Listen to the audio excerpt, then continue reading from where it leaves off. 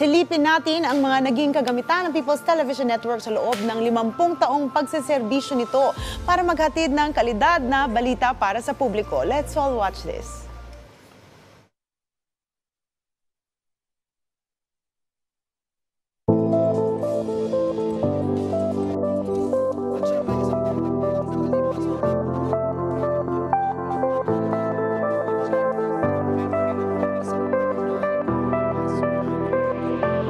Magandang araw po. Ako si Lito Cruz. At present, ako ang Obi-Wan Supervisor.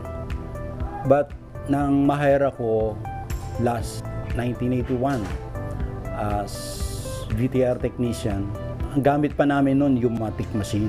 Ah, yung iba, nandyan. Pero yung ibang dati na wala eh. Hindi na rin na preserve kasi matagal na. Pero yung mga ENG camera sa news, hiwalay pa yung ano nila, VTR recorder.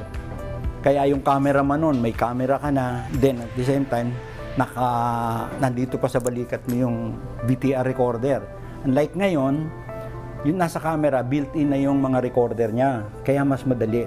Boy Arroyo po ng ah, maintenance section, senior ah, maintenance technician at the same time OIC ng maintenance or TBM. So ngayon, itong makikita nyo ngayon, eh mga natira na lang sa analog na equipment na audio-video.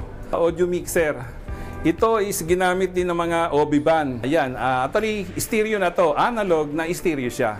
Ah, Shure Mixer, Itong model na to is high-end na dun sa MXP na ay ano dun sa isang model. Tapos ito naman is yung analog microwave na Ito yung gamit natin sa during PBA. PBA. Yes sir, oh, nagamit din natin sa Cuneta. Ano, yung shoulder mount na camera, ang tawag namin kasi dito, pag ito sa part na to is ano, lens. Dito sa part na hanggang doon, iyan yung camera head. Yan yan naman yan, nakikita mo. Pero lahat to is ah, analog. DBC Pro editing na tinatawag na yung counterpart ng ano ng NLE.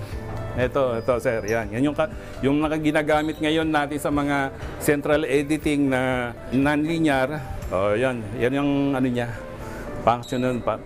Pero yung wala itong effect na katulad ng ginagawa nung sa ating mga bagong ano ngayon.